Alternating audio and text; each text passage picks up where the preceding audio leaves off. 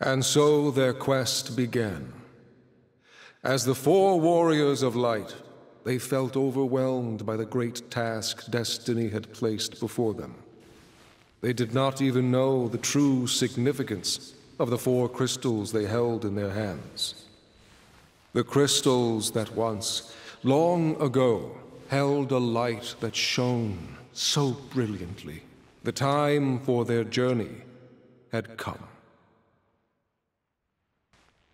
The time to cast off the veil of darkness and bring the world once more into light.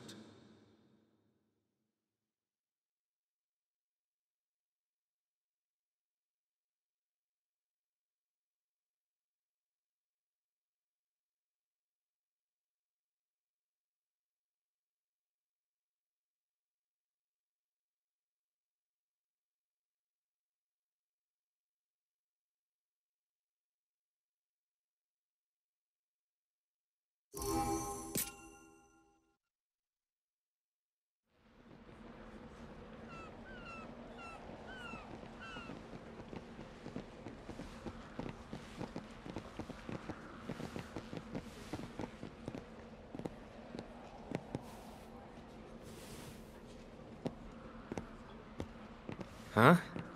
What's up with them? You're from the castle, aren't you? That's for my dad!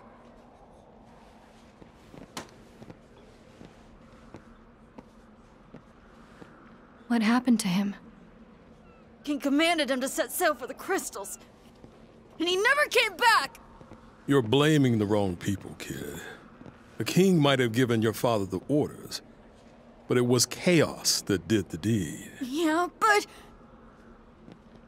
Hey, we're here to make sure that never happens again. For all the kids like you who have lost someone. For all of Cornelia.